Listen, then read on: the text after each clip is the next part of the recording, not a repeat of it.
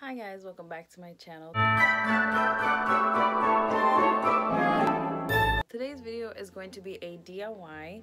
I saw these design. I I don't know where I saw them. It was either like on Pinterest and stuff with like these um these candles. And it's you form how do I explain it? Like, it's just designs with candles. So I'm gonna try that out today. I'm going to set these in hot water for about 30 minutes or until they start to get like soft and stuff and we'll see how they turn out.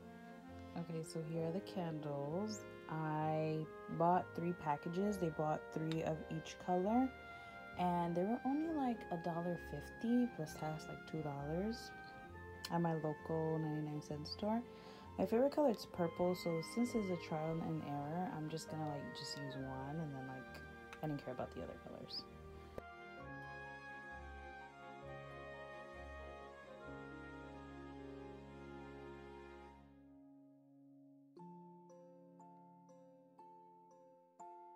And now I'm gonna place these candles in there.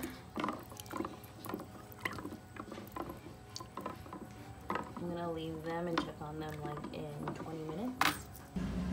All right, so they've been here for a while. I do notice that they are kind of bendable, but I'm gonna run some more hot water on it.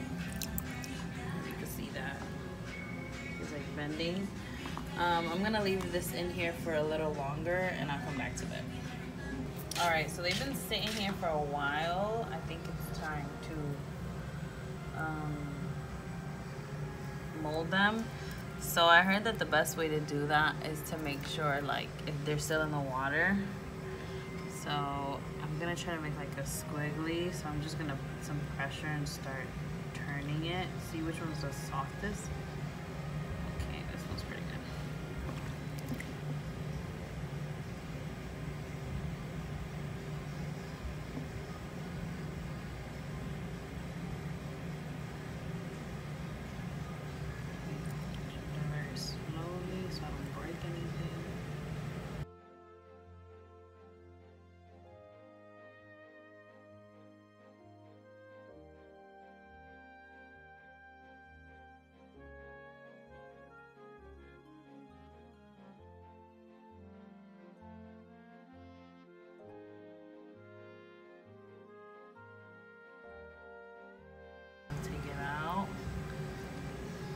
Looks pretty good. Alright, that's one design. Let's see if we can make something else. This one is make it like a swirly round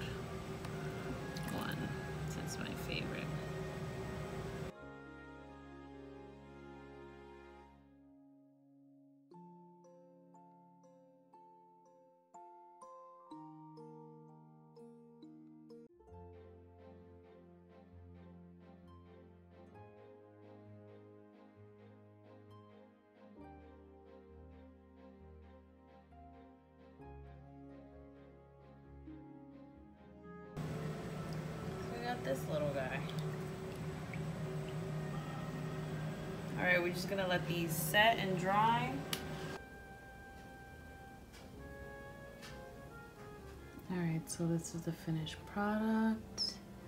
I actually like them.